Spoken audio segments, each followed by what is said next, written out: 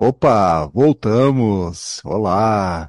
Sejam muito bem-vindas e bem-vindos ao nosso podcast O Espírito do Evangelho. Aqui é Antônio Campos.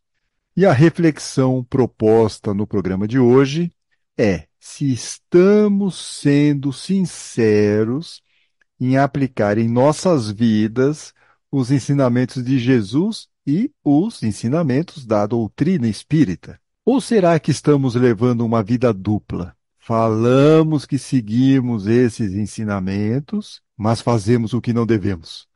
É. Em outras palavras, será que somos adeptos do famoso ditado faça o que eu falo, mas não o que eu faço? Isso, essa é a nossa reflexão do dia. Estou sendo sincero no meu comportamento ou estou usando máscaras? É. Isso aqui vai dar muito pano para manga hoje aqui para nossa conversa. Mas antes disso, por favor, aproveite e inscreva-se em nossos canais, lá nas redes sociais, nos aplicativos de áudio, lá no YouTube. Se possível, curta e compartilhe os episódios de O Espírito do Evangelho. Bom, acho que todos que estão ouvindo aqui o podcast conhecem, ou já ouviram falar, de Chico Xavier. E uma das unanimidade sobre Chico é que ele agia conforme o que escrevia. Não existe ninguém, pelo menos até o momento, que possa dizer que Chico falava uma coisa e fazia outra. Ou seja, ele era sincero, tanto na palavra quanto no exemplo. E palavra e exemplo precisam caminhar de mãos dadas, principalmente quando você está fazendo isso de forma correta. É principalmente quando você está agindo dentro dos preceitos da doutrina espírita e do evangelho, claro. Então, por isso que é importante essa ideia da palavra estar junto com o exemplo. O que você fala tem que estar junto com o seu exemplo, com o seu dia a dia. Emmanuel, que foi o mentor de Chico Xavier e foi o autor de várias obras pela psicografia de Chico Xavier, ele cita um ditado que a palavra esclarece e o exemplo transforma. A palavra esclarece, o exemplo transforma. Olha só, por isso que os dois têm que estar sempre juntos. Não adianta só falar uma coisa, mas não faz é o que está pregando. Aí complica. E é exatamente essa questão da sinceridade, do bom exemplo, que nós vamos refletir nesse episódio de hoje a partir de uma frase de Jesus que está lá no Evangelho de Lucas. Nada há de encoberto que não venha a ser revelado. Está no Evangelho de Lucas, capítulo 12, versículo 2. Vou repetir aqui. Nada há de encoberto que não venha a ser revelado. Ou seja, se Chico Xavier tivesse feito algo que não era condizente com o que ele pregava, com certeza, depois de tanto tempo, alguém lá ia levantar, olha, mas Chico e tal, que não tem nada que fique escondido que não venha a ser revelado. Esse aqui é o exemplo para nós, quer dizer, será que eu estou sendo sincero nas minhas atividades, no meu comportamento em relação ao que eu falo? Será que está coerente isso? Porque se eu não estou sendo sincero, como Chico, por exemplo, estava, então se eu não estou sendo sincero, em algum momento aquela máscara pode cair né, dentro desse ensinamento de Jesus, que nada há de encoberto que não venha a ser revelado, então em algum momento a máscara cai da pessoa que não é sincera, daquela pessoa que quer aparentar ser boazinha, que quer mostrar ser uma pessoa elevada espiritualmente. Ela quer aparentar, mas na prática ela não é. Um dia, aquele comportamento, vamos chamar assim, de fachada, é, um Projac, uma cidade cenográfica, tudo falso. Tá lá, né? Você vê lá, parece que tem um prédio, tá? mas quando você vai ver por trás não tem nada. É só casca. Então, uma hora esse comportamento de fachada vai ser descoberto. E aí a máscara cai. E aí a coisa complica. Você fica numa situação difícil, passa por hipócrita. As pessoas falam, tá vendo? Aí, ele é partidário daquela frase. É, faço o que eu falo, mas não o que eu faço. É, então, aí fica muito difícil. E essa questão, tanto da palavra quanto do exemplo, essas duas palavras estarem caminhando de mãozinhas dadas, é tão importante essa questão que o Papa Francisco criticou lá em 2017, vocês devem se lembrar, que os cristãos católicos levavam, segundo ele, né, alguns desses cristãos católicos, uma vida dupla. Então, olha só, ele está falando que esses cristãos católicos estavam levando uma vida dupla. E aí ele explica que essas pessoas se diziam cristãs, frequentavam templos religiosos, mas no dia a dia agiam de forma contrária aos ensinamentos de Jesus. É, então, ah, Antônio, mas isso acontece com católico? Não. Ah, Antônio, isso só acontece com protestante. Também não. Acontece com todo mundo, inclusive, olha só que revelação bombástica, né? Com nós espíritas também. Claro, somos todos seres humanos, estamos tentando ser pessoas melhores e, obviamente, nós podemos ser tentados aí pela porta larga a porta daquele de fazer de conta. Olha, eu estou aqui, eu sou espírita, sou cristão, gosto de Jesus, gosto de Kardec e tal, mas é só pela porta larga, só da boca para fora. Na atitude não é. Por isso que tem que escolher o quê? Como Jesus já dizia para nós, a porta estreita. Esse sim é o bom caminho, é o caminho que nos leva ao reino de Deus. Mas voltando aqui ao Papa, e ele disse que esse tipo de comportamento de vida dupla, das pessoas que se diziam cristãs, mas no dia a dia agiam de forma contrária aos ensinamentos de Jesus, causava escândalo. Causava escândalo, ou causa escândalo. E ele explica: olha, falar uma coisa e fazer outra. Dupla vida. E aí o Papa solta aquela frase polêmica: se é para ser cristão como aquele que tem lá a vida dupla, melhor ser ateu. Olha que frase maravilhosa, por isso que deu polêmica. Imagina o Papa falando o seguinte: olha, deixa de ser católico, vai ser ateu se você continuar nessa vida dupla. Para com isso. Né? Então, se é para ser cristão como aquele, de vida dupla, melhor ser ateu. Mas essa reflexão, ela é também muito importante porque se não formos sinceros em nossas atitudes, olha, eu tenho a leve impressão que ser muito menos nós seremos também sinceros ao identificar as nossas imperfeições morais. E aí, nada de reforma íntima de verdade, só de fachada. E é isso que nós queremos? Não, né? Nós temos que ficar vigilantes o tempo todo em relação ao nosso pensamento e nossas atitudes, para ver se nós estamos agindo de uma forma coerente.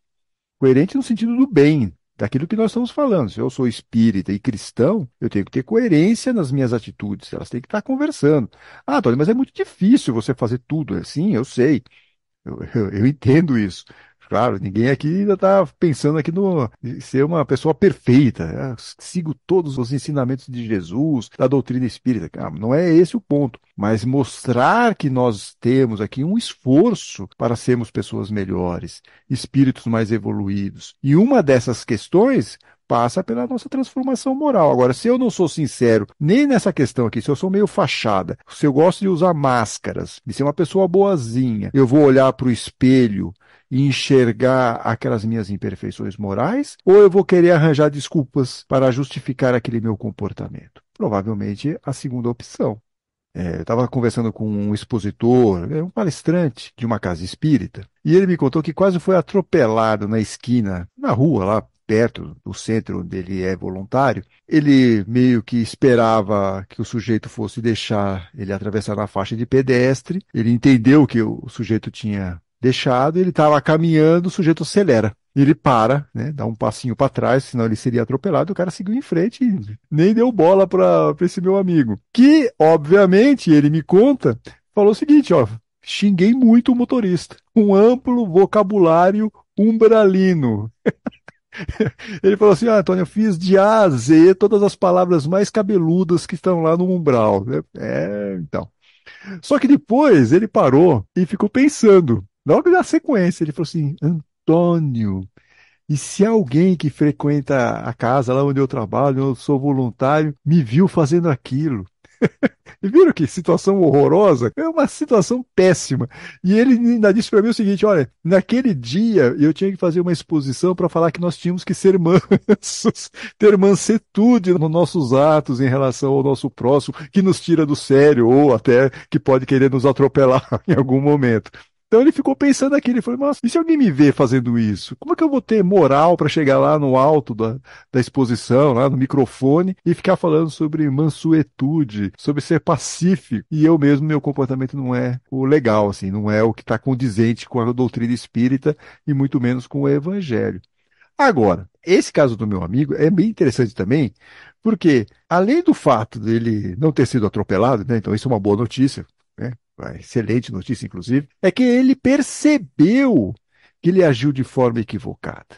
Olha só, ele estava lá refletindo sobre a atitude dele. Por isso que eu estava falando aqui, nós temos que ficar o tempo todo vigilantes em relação aos nossos pensamentos e nossas atitudes. Será que eu estou seguindo no caminho do bem? Será que eu não estou seguindo? Será que eu estou falando uma coisa e estou fazendo outra? Tem que estar toda hora se vigiando, né? fazendo essa questão de vigilância constante. E ele teve consciência de que ele deveria ter tido outro comportamento naquele momento. Mas eu entendo, eu sou solidário ao meu amigo. Eu acho também que se qualquer um que tivesse passado por uma situação de quase morte como essa, também né, teria uma situação quase assim instintiva de xingar. Pessoas muito evoluídas conseguem se segurar. Eu acho que é importante termos essa possibilidade de ficar analisando o que nós fizemos, se está coerente, e ter como uma lição, e ficar mais atento para uma próxima oportunidade, para não repetir aquele mesmo erro. Aí sim, por isso que eu falei lá para vocês, ninguém aqui está falando que nós temos que ser perfeitos, maravilhosos, já, já no mesmo nível de Jesus e tal, ou dos espíritos de luz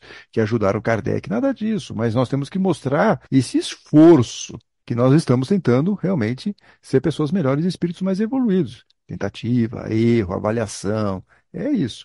Agora, quando você consegue conciliar de forma sincera palavra, e atitude dentro aí dos ensinamentos de Jesus e da doutrina espírita, aí acontece uma coisa muito interessante. Chico Xavier diz que o nosso exemplo pode ser um mecanismo de orientação, obviamente o nosso bom exemplo. Ele diz no livro O Evangelho de Chico Xavier, no capítulo 55, que tem o título O Exemplo, ele diz o seguinte: o exemplo é uma força que repercute de maneira imediata, longe ou perto de nós. Não podemos nos responsabilizar pelo que os outros fazem de suas vidas. Cada qual é livre para fazer o que quer de si mesmo, mas não podemos negar que as nossas atitudes inspiram atitudes, seja no bem quanto no mal. Olha que frase interessante. E é muito melhor se você, se nós aqui, claro, tivermos aqui a possibilidade de inspirar outras pessoas pelas nossas atitudes no bem. Sermos coerentes. Isso ajuda. Ah, Tony, mas isso não quer dizer que a outra pessoa vai mudar rapidamente? Não, claro que não. Mas nós estamos mostrando para outras pessoas, se nós estivermos realmente seguindo corretamente aí, ou praticando essas atitudes no bem, é, a pessoa vai parar e vai olhar e falar assim, hum, o que está acontecendo com aquela pessoa? Olha que atitude interessante dela. Isso acaba sendo uma espécie de referência. E essa referência, a pessoa de repente pode querer fazer algo parecido, ter um comportamento parecido. Isso não é instantâneo, isso não acontece da noite para o dia, é um processo lento, mas nós temos que ficar atentos com relação a isso, porque a nossa atitude repercute em relação aos outros. Como diz aqui Chico, nossas atitudes inspiram atitudes, seja no bem quanto no mal. Então a gente tem que ter esse parâmetro também. Por isso que Jesus pedia no Sermão da Montanha, lá no capítulo 5 de Mateus, versículo 16, para que a luz de vocês brilhe diante dos homens, para que eles vejam as boas obras que vocês fazem e louvem o Pai de vocês que está no céu. É, tá vendo? Então é isso. Jesus fala: coloque a sua luz no alto. É importante as pessoas perceberem isso. É um bom exemplo. Não por acaso, como diz o ditado que nós falamos lá no começo do programa, a palavra esclarece, convence, mas é o exemplo que transforma, que arrasta outras pessoas. E como ser um bom exemplo? Vocês devem estar se perguntando aí, estão vendo o programa, estão falando, bom, tá bom, Tony, entendi tudo isso, agora como eu vou ser um bom exemplo? E Emmanuel de novo, Emmanuel nos ensina no livro, de novo, Palavras de Vida Eterna, mas agora no capítulo Boas Obras, como que nós podemos impactar positivamente outras pessoas pelo nosso exemplo. Eu tenho uma lista um pouquinho longa, eu selecionei três aqui para nós entendermos aqui qual é a ideia. Com o amor, estimularemos o amor. Com a paz em nós, ajudaremos a construir a paz dos outros. Com a nossa paciência, edificaremos a paciência alheia. E aí vem uma questão bacana para nós. Quando eu chego em casa, eu estou trazendo a paz para o meu lar, eu estou trazendo a discórdia. Eu estou tendo paciência para falar com os meus familiares ou estou sendo impaciente? Porque é na família que nós começamos aqui, é o nosso laboratório, é o nosso espaço de treinamento. Então, se eu sou um espírita e sou um cristão, eu tenho que pensar nisso. Puxa, eu tenho que levar a paz para a minha casa. Eu tenho que ter paciência com os meus familiares. Então, como diz Emmanuel, com a paz em nós, ajudaremos a construir a paz dos outros. Então, se eu quero um lar mais harmônico, o processo tem que começar por mim. Se eu quero ter um lar em que as pessoas convivem de uma forma é, bacana, cada um respeitando o outro. Eu tenho que ter paciência, paciência em relação ao outro. O outro pensa diferente, mas eu vou treinar isso em casa. Então, com a nossa paciência, edificaremos a paciência alheia. Isso vai valer para a família, vai valer para nossas atividades escolares, né? nossas interações que acontecem na escola, no trabalho, nas nossas atividades sociais, não importa. É, mas a família é o primeiro laboratório, onde nós temos que exercitar aí se nós estamos realmente bem e, fisicamente falando, né, no ponto de vista espiritual, se nós estamos realmente seguindo esses ensinamentos. E, e tem uma outra questão também, levando em consideração essa ideia do exemplo, a gente tem que pensar o seguinte, quer dizer, que exemplo eu estou dando principalmente para as crianças, os pequeninos, porque como nós sabemos, os pequenos aí, eles meio que ficam de olho o tempo todo, como uma esponja, sugando todos os comportamentos dos adultos. Eles estão olhando tudo. A gente pode nem estar tá dando muita pelota para eles, assim, pode achar que eles estão meio distraídos, mas não estão, não. Eles estão observando tudo, a maneira como nós falamos, a maneira como nós nos comportamos. Eles vão pegando aquilo e meio que replicando aquela atitude em algum momento ou vão replicar aquela atitude em algum momento. Por isso que a gente tem que tomar muito cuidado e ficar fazendo a seguinte pergunta: qual é o exemplo que eu estou passando para os meus filhos, ou para os meus sobrinhos, ou para aquela criança pequena lá que está indo lá em casa? O que, que eu estou fazendo? Que exemplo eu estou projetando para aquela criança? Que bons exemplos eu estou passando para ela? Só para nossa reflexão aqui, um parênteses. Mas, de qualquer forma, acho que nós não podemos nos esquecer da questão principal de hoje ser sincero ao seguir os ensinamentos de Jesus. Nada de ser fachada, nada de usar máscaras. Ser sincero. Emmanuel, de novo lá no Palavras de Vida Eterna, mas dessa vez no capítulo 22, que tem o título Na Palavra e na Ação, ele nos fala o seguinte: Olha, você se diz cristão, você se diz seguidor de Jesus, você afirma ser uma pessoa que cultua o Evangelho, perfeito. Mas isso quer dizer que o nome do Senhor se encontra empenhado em tuas mãos. Então, você está falando o seguinte: eu estou seguindo Jesus. Então, a sua atitude tem que ser condizente com aquilo. Por isso que ele está dizendo para nós aqui: olha, o nome do Senhor se encontra empenhado em tuas mãos. Se buscamos o Cristo, diz aqui Emmanuel, de certo é necessário refleti-lo. Nós temos que ser uma imagem, nós somos como se fôssemos é, representantes, ainda muito imperfeitos, mas representantes. Nós estamos refletindo uma imagem. Por isso que o Papa falou assim, ficou bravo lá, né? Melhor ser ateu. Se vier para ter essa dupla vida, vai ser ateu. Para de ficar complicando aqui a imagem de Jesus e, no caso dele lá, dos católicos, mas vale para todos nós aqui. Então, olha que frase de Emmanuel. Nós, se buscamos o Cristo, de certo é necessário refleti-lo. É imprescindível, continua ele. Assim, saibamos agir como se lhe fôssemos representantes fiéis no caminho em que estagiamos. Olha só, representantes. Vamos até aqui reforçar aqui o que ele disse. É imprescindível, imprescindível, a força dessa palavra, imprescindível, que nós saibamos agir como se lhe fôssemos representantes fiéis no caminho em que estagiamos. Então, nós estamos aqui Estamos falando que somos espíritas e cristãos, que seguimos os ensinamentos de Jesus, então é imprescindível agir como se nós fôssemos representantes de Jesus.